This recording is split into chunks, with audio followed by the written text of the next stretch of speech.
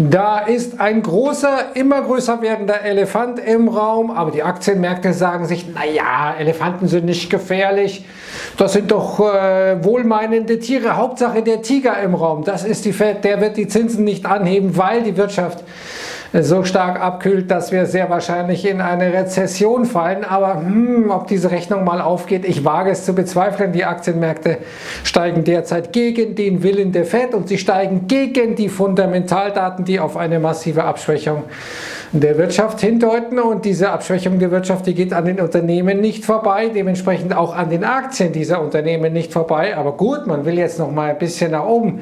Wir sind beim S&P 500, dem Leitindex in den USA, fast schon auf der 200-Tageslinie, die so bei 4324 um und bei verläuft. Jetzt sind wir knapp unter der 4300er Marke. Also viel ist es nicht mehr hin. Vielleicht wollen die Märkte diese Zone nochmal antesten. Wir werden sehen. Aber schauen wir uns zunächst mal das Geschehen an. Es startete schon mit wirklich schwachen Daten aus China.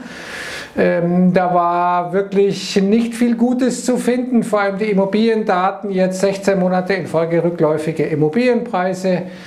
Alles viel, viel schlechter als erwartet. Nicht nur eine Folge der Corona-Maßnahmen von Xi Jinping und dann hatten wir dazu gleich mehr den Empire State Index mit einem massiven Abfall, der darauf hindeutet, dass auch die USA direkt auf dem Weg in eine Rezession sind. Aber was passierte? Die Aktienmärkte in den USA zunächst mal schwächer, aber dann hat man sich gesagt, Glas ist vielleicht halb leer, weil die Fed dann die Zinsen nicht so anheben kann, ist weiter gestiegen. Interessant Jetzt keine großen Gewinne, aber eben nochmal Zugewinne nach den deutlichen Gewinnen am Freitag. Interessant ist, dass der WIX weiter zulegt, über 2% im Plus. Und das bei steigenden äh, Aktienmärkten eigentlich ungewöhnlich. Schauen wir uns diesen Empire State Index an. Zweitgrößter Rückgang, der jemals verzeichnet wurde zum Vormonat. Diesen Index gibt es seit äh, gut 20 Jahren. Wir sehen, hier waren wir im Vormonat noch bei plus 11 und jetzt sind wir bei minus 31. Alles, was an Unterkategorien da war, hat massiv enttäuscht. Und das Interessante ist, dass die Preisdynamik, also die Preise, die da bezahlt werden, zwar nachlässt, aber es ist eben so, dass die Preise nach wie vor steigen. Wir können also nicht sagen, ja, die Wirtschaft kühlt massiv ab und jetzt plumpsen schon die Preise nach unten. Nee, die Preise bleiben relativ weit oben und die ähm, Konjunktur säuft ab, so wie es äh, aussieht. Das ist eigentlich nicht das, was die Aktienmärkte sich vorstellen. Wir haben jetzt die fünf schlechteste Headline-Zahl im Empire State Manufacturing Index, seit es, wie gesagt, diesen Index gibt. Wir waren nur Februar, März 2009, Finanzkrise und dann Corona-Crash oder Corona-Krise Mai und April 2020 noch schlechter, wenn wir uns mal die Zyklika gegenüber diesen defensiven Aktien anschauen obere Grafik hier, dann deutet manches darauf hin, dass wir etwa beim ISM-Index, der als maßgeblicher Einkaufsmanager-Index in den USA gilt, äh, auf Werte von 46 abstürzen könnten. Und das wäre dann ziemlich klar Rezession, wäre ziemlich klar Schrumpfung. Aber weiter im Text. Wir haben zwar eine niedrigere Inflationszahl gehabt, okay, das ist der Grund der Rallye, die sich äh, darauf beruft, naja, wird die Fed die Zinsen nicht so stark, äh, stark annehmen, aber wir haben stark steigende Löhne nach wie vor, wir haben eine sich offenkundig abschwächende Nachfrage und das ist bad for corporates, wie äh, Savita Submaranian von Bank of America hier richtigerweise sagt und wie Sam Rowe zeigt, das sieht man nicht oft in Konjunkturveröffentlichungen der USA, das Wort plummeted, also abgestürzt und faktisch ist der Empire State Index abgestürzt. Da ist also richtig was passiert.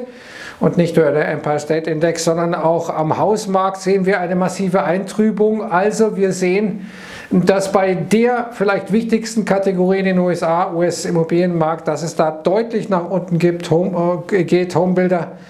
Confidence bei 49 statt 55 erwartet. Das ist der größte Rückgang am Hausmarkt seit dem Platzen der US-Immobilienblase. Die Gründe sind klar.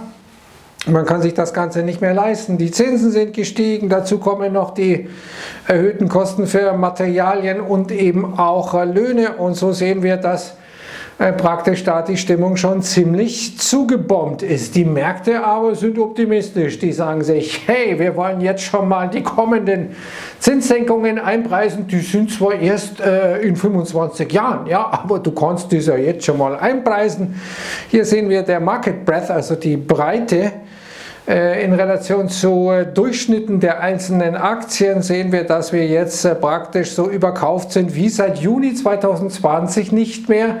Die beste aller Welten wird eingepreist, die Fed wird die Zinsen senken äh, schon bald. Gleichzeitig wird die Wirtschaft nicht in eine Rezession fallen, wird schon irgendwie alles werden. Na klar wird das auf eine oder andere Weise. Und jetzt sind wir in der Situation auf einem Kursstand beim S&P 500, wie Sven Hendrik gezeigt, wie im September 2021. Damals pumpte die Notenbank noch 120 Milliarden hm, Dollar pro Monat in die Märkte. Die Zinsen waren null, die Gewinndynamik war positiv.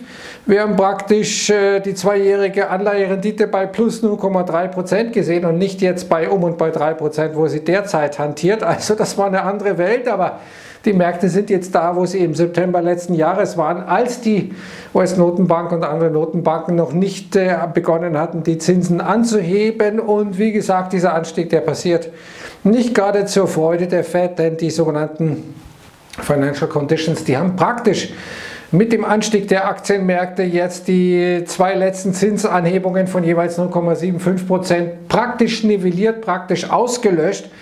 Warum? Naja, ist relativ klar, kennen Sie vielleicht auch, wenn Ihre Depots super ausschauen, wenn Sie da Gewinne machen, wenn da auf dem Papier Sie immer reicher werden, weil Ihre Aktien, Ihre, keine Ahnung, was Sie da haben, wenn das immer besser wird, dann denken sie sich, naja, da gönne ich mir was, da kaufe ich das jetzt mal, das äh, Fahrrad oder keine Ahnung, je nachdem, äh, was äh, das E-Bike oder äh, den Fernseher oder was auch immer. Das heißt, man konsumiert mehr, weil man sich sagt, naja, ich kann mir das ja leisten, guckst du mein Depot.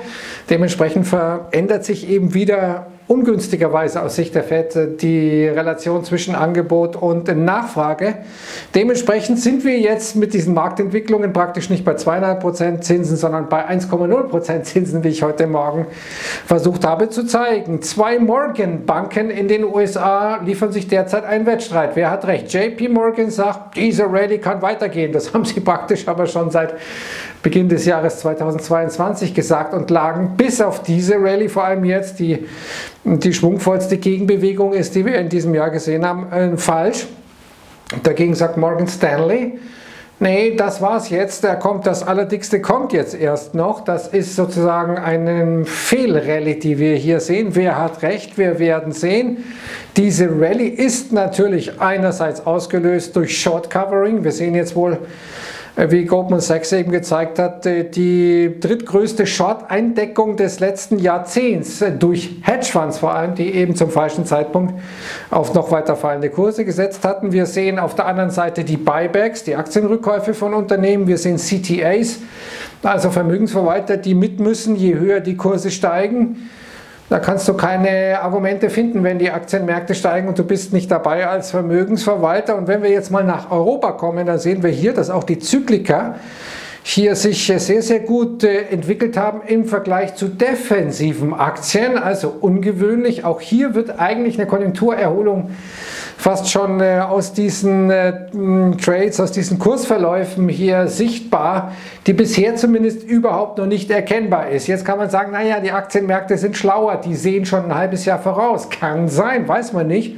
Nur ist der Track Record normalerweise nicht so super toll der Aktienmärkte. Da guckt man besser auf die Anleihe oder auch die, auf die Devisenmärkte. Und die Devisenmärkte zum Beispiel sagen, naja, der Dollar wird jetzt wieder stärker. Das ist ja eigentlich nicht gerade ein Beweis dafür, für das, was die Aktienmärkte einpreisen, nämlich dass die Fed jetzt wirklich aufhört mit den Zinsanhebungen. Äh, sonst würde jetzt der Dollar nicht stärker werden, Euro-Dollar wieder deutlich unter der Marke von 1,02.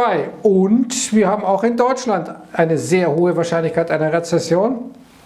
Die Märkte preisen das mit einer Wahrscheinlichkeit von 57 Prozent ein. Also es ist deutlich wahrscheinlicher, dass Deutschland in eine Rezession kommt, als dass das nicht passiert.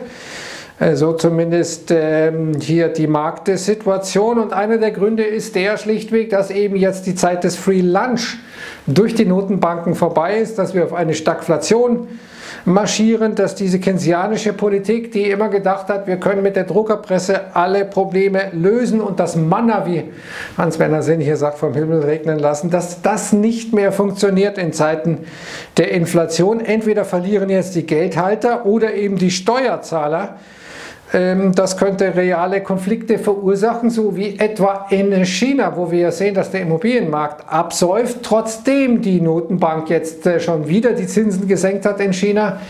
Trotzdem man versucht, die Immobilienentwickler zu stützen, aber die Kreditnachfrage kommt nicht zurück, wie Alf hier zeigt, denn wer sich da mal die Finger verbrannt hat mit solchen Krediten, der macht das nicht nochmal sofort nur weil jetzt die Kreditkonditionen wieder laxer werden. Also das äh, zeigt, dass da einiges auf uns zukommen kann, auch in den USA am Immobilienmarkt.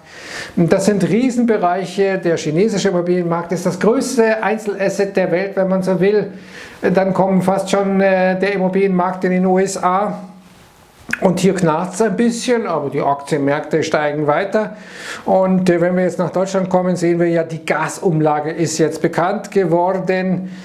Jetzt äh, hat der Robert Habeck schon mal Entlastungen versprochen, welche genau nicht. Gell? Wir versprechen erst einmal was und was wir versprechen, das sehen wir dann später.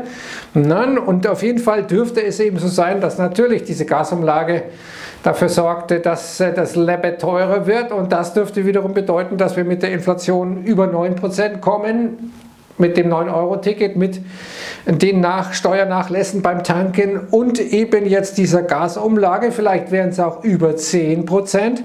Ein Vier-Personen-Haushalt dürfte etwa durch diese Gasumlage jetzt eine Mehrbelastung von 575 Euro haben. Ein Single-Haushalt 144 und ein Pärchenhaushalt etwa 345. Ähm, diese Gasumlage beträgt, wie heute bekannt wurde, 2,419 Cent, damit am oberen Ende der Erwartung. Die Spanne war so 1,5 Cent bis 2,5 Cent. Jetzt sind wir bei 2,419. Und jetzt kommt dazu auch noch die Strompreise.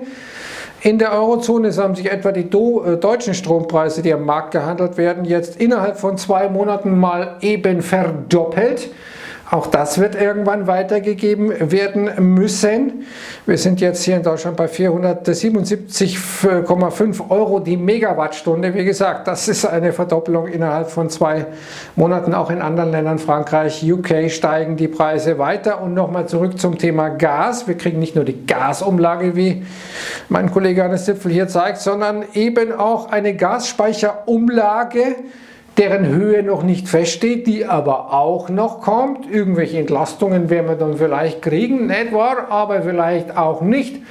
Jedenfalls äh, ist das jetzt nicht gerade ähm, das Skript, das Drehbuch einer boomenden Wirtschaft, wenn die Konsumenten derart gefordert sind. Äh, in UK, in Großbritannien ist es so, da gibt es schon massive Proteste durch Unterschriftenaktionen, durch Demonstrationen. In Deutschland wird das wohl nicht passieren. Wie hat Lenin einst gesagt, wenn die Deutschen einen Bahnhof stürmen, dann lösen sie vorher ein Bahnsteigticket.